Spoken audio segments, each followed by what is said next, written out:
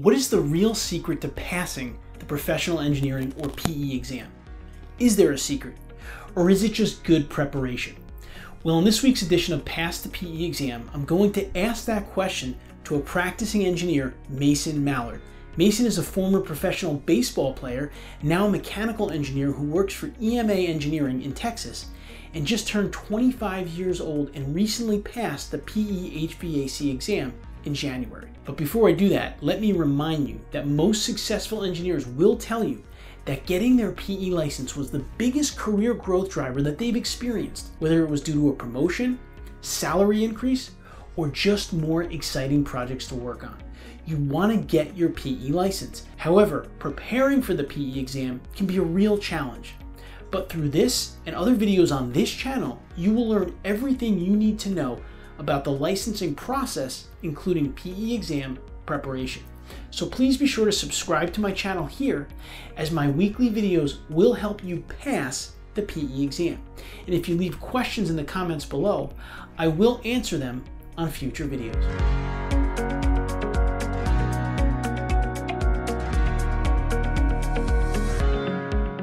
Right, so now I'm excited to welcome on our guest to pass the PE exam for today, Mason Mallard. Mason, welcome to the show. Thanks, sir. Thanks for having me. So, Mason, welcome aboard here. You recently passed your professional engineering licensure exam. First of all, congratulations on that. Thank you. Thank you. I appreciate it. So, Mason, before we dive into the exam and get some tips from you on your experience, why don't you tell our audience a little bit about your background? Because I think you're maybe coming at this a little differently than a lot of engineers have been with where you've been in the last few years. Sure. Thanks, Anthony. So uh, I graduated from Louisiana Tech University uh, with a degree in mechanical engineering in 2019, and also played um, college baseball throughout the time that I was getting that degree. So um, once uh, school ended, I had the option to continue playing um, professionally with baseball. So um, I played with the Tampa Bay Rays in their minor league organization, and I was with them um, from the end of 2019 until June 2020. So um, with COVID, I was released, and at that point, decided to pursue uh, engineering full time and decided to pursue my licensure as a uh, professional engineer.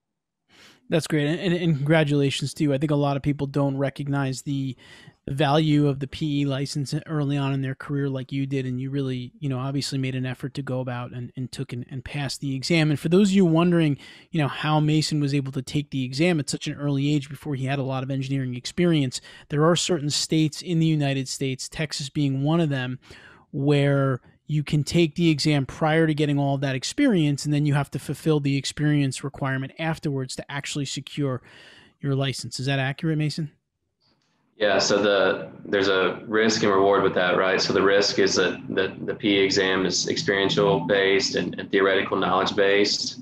Um, so the risk of taking it early was to, to say, well, maybe I don't have enough experience yet. Um, but I just took that risk knowing that the theories were going to be kind of fresh on my mind from uh, college. And um, I was able, obviously, to, to overcome that adversity in a way.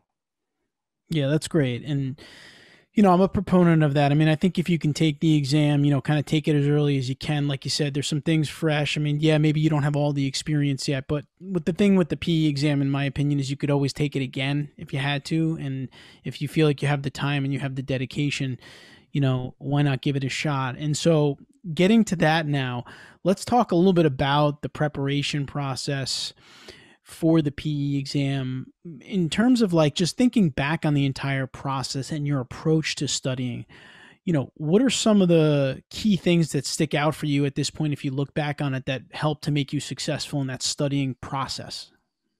Yeah i think like we mentioned earlier my my um, my process to getting to studying was a bit different. So right plan a was to you know, play throughout the minor league season and then take the test in October and study for the test while I was playing and take the test in October 2020. Um, but with the onset of everything changing, my date kind of moved around a little bit, and I think that affected me in a negative way. So I definitely say to pick a date and stick to it. You know, um, even when when things are kind of moving all around the place, and if the test isn't offered um, just twice a year now, it's every it's however, however often you can take it. So um, I would definitely say to stick to that. But also, I had um, the the process for as far as the process goes, um, I, I, was really thankful for Dan Malloy's um, HVAC full bundle uh, package prep course. Um, it was incredible. Um, he was able to kind of walk through the fundamentals um, to allow me to re- really understand what, what, I was walking into, and I really kind of worked through through his 16 week course in a rather like fast pace, uh, just because I kind of started that in December and took the test in January and um, was able to to just kind of go in there and perform. Wow. So you didn't have a lot of time to prepare for this exam, and obviously you felt like you know having the a review course did provide you some really good structure and kept you focused on what to study and you know how to do it in a in a relatively quick manner.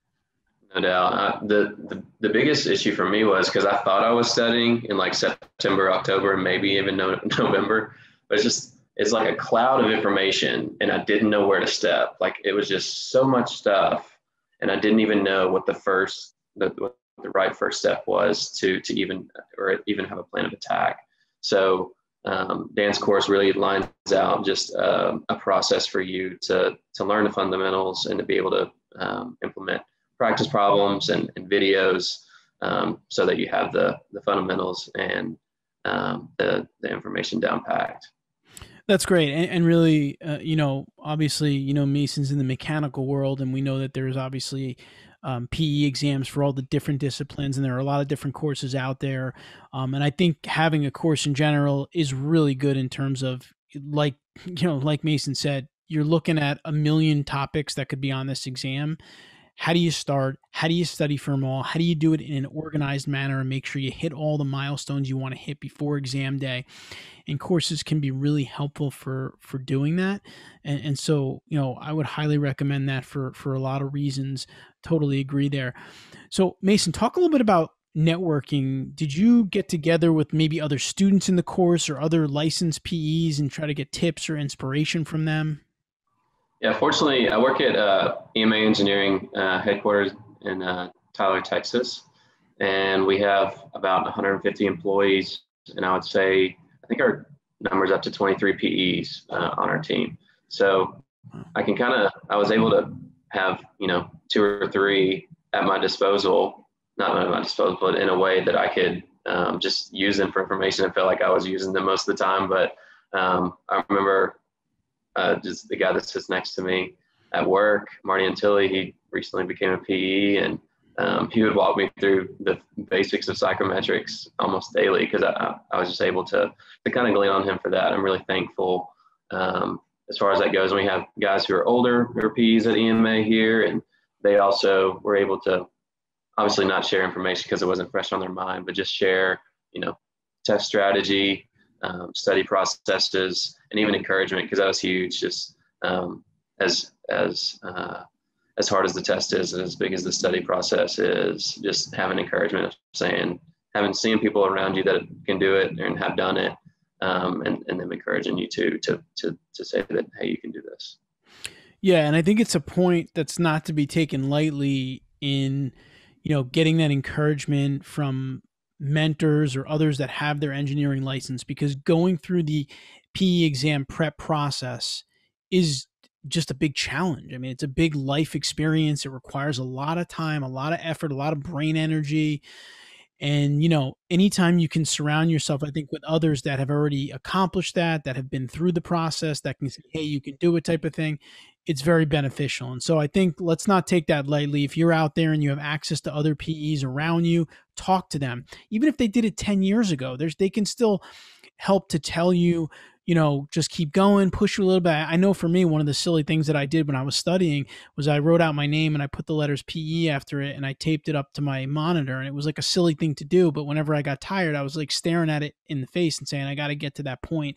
I got to get to that point. So you really need motivation in, in terms of tackling this exam, which is really important. Now, another thing that I want to ask you about, Mason, and this is, I think you're the perfect person to ask this question.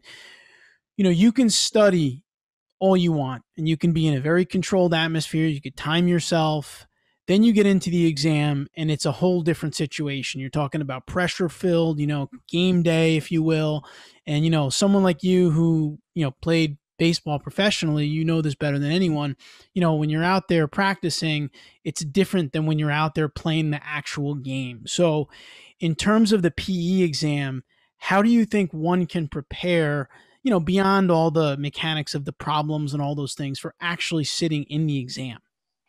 Yeah, that's something I definitely wanted to cover too, because when I was studying, like you just hear everybody study hard, study hard, just do more practice problems but nobody talks about you know how you have to go in there and perform like it's eight hours and it's rigorous and you're tired and it's question like you're just I don't know. I felt like I was getting beat up. I felt that I left the test, felt terrible. And I don't know if I should share that or not, or and that might be an encouragement. I don't know. But I just I felt like I was constantly getting beat up um, from the test, but I, I trusted the process I was to get there, right? So as an athlete, you trust in your practice and your processes and you just go perform in a game.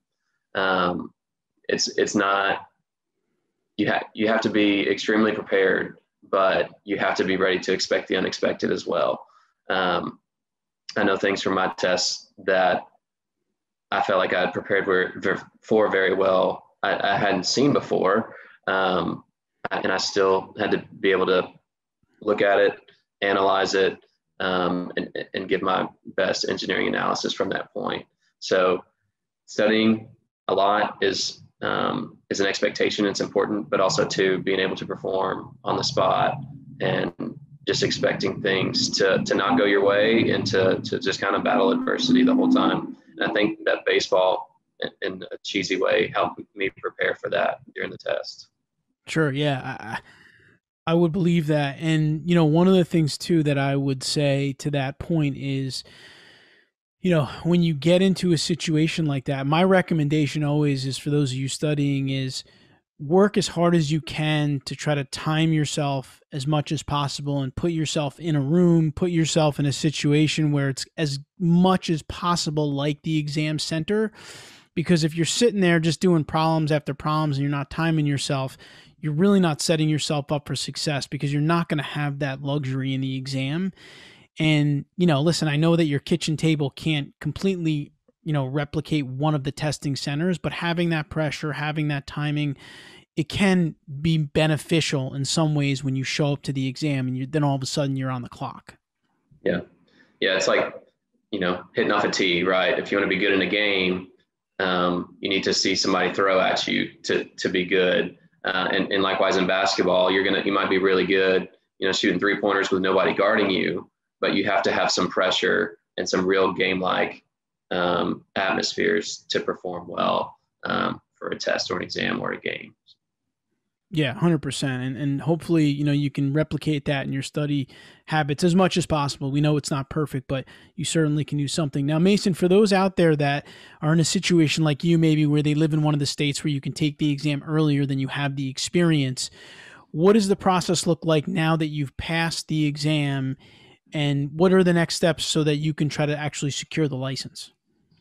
Yeah, for me, it's um, just continuing to build on the engineering experience that I have um, being intentional about you know what I'm working on and, and documenting that process. I think early on um, when I got this job, I didn't know that the things that I was working on um, that I needed to document. So I had to go back and, and really think about the engineering decisions that were made and, and just um, some of the processes that I went through as far as uh, designing a school goes or something uh, that we may have worked on as a team. So um, at this point, I think it's about a year and a half uh, for me to just um, fill out my application, be able to, to, to give that good engineering experience. I think it's four years of experience that you have to have and um, continue to work uh, on that until um, the, the next year and a half comes. Yeah. So again, Mason's point is really important. There is that even if you pass the exam in one of these states, you, are still going to have to really document that experience. You know, it's not just you know i know in, in most states where you need to get the experience first you obviously document that experience on your application to sit for the pe but in this scenario obviously mason was approved to sit. He was able to pass the exam. Now he's got to do that documentation. And i believe mason also you need to be able to have licensed professionals that you're either working with or for that can uh, kind of certify that experience correct? Yeah absolutely. Um, my, my boss is a pe there's i have guys who are around me here PEs and who can kind of vouch for you. It's just kind of accountability thing. I think the NC uh, EES wants to see um, other professional engineers um, stamping, obviously, your application, but also to vouching that you did do this work and that is done with integrity. Great. All right, Mason, before we let you go here, any last kind of parting tips or advice that you'd give to the you know the engineers out there they're studying for this exam right now they're getting ready to take it just maybe a last piece of advice yeah for the hvac guys go get dan malloy's uh, course he's awesome i really appreciate him and his work that he puts into his videos he's a he's a great guy and uh, just like a mentor from afar. It was kind of weird, uh, but it was cool. Uh, but also be solid on the fundamentals. Whatever tests that you have, um, be sure that you fully really do get a good grasp on the fundamental on the fundamentals of a test. And uh, lastly, just going to be being able to perform, uh, putting yourself in test like situations and um, treating it like a game and um, going out there and getting the job done. Awesome. Well, Mason Mallard, congratulations on passing that exam. We wish you the best in, you know, continuing the journey towards your license and your career. And thank you for spending some time on Pass the PE exam. Awesome, Anthony. I appreciate you. I hope you found this week's video helpful. One key takeaway you must be able to perform on test day. In upcoming videos, I will solve more PE exam practice problems and answer other questions from our subscribers. Pass the PE exam videos will publish weekly, so please be sure to click the subscribe button so you don't miss something that could make a substantial difference in your exam result. And please ask questions in the comments below, and I will read and respond to them. And let me know if there's a specific topic you'd like me to cover or a question that you need answered. Pass the PE exam we'll have you covered. I'll see you next week on Pass the PE exam.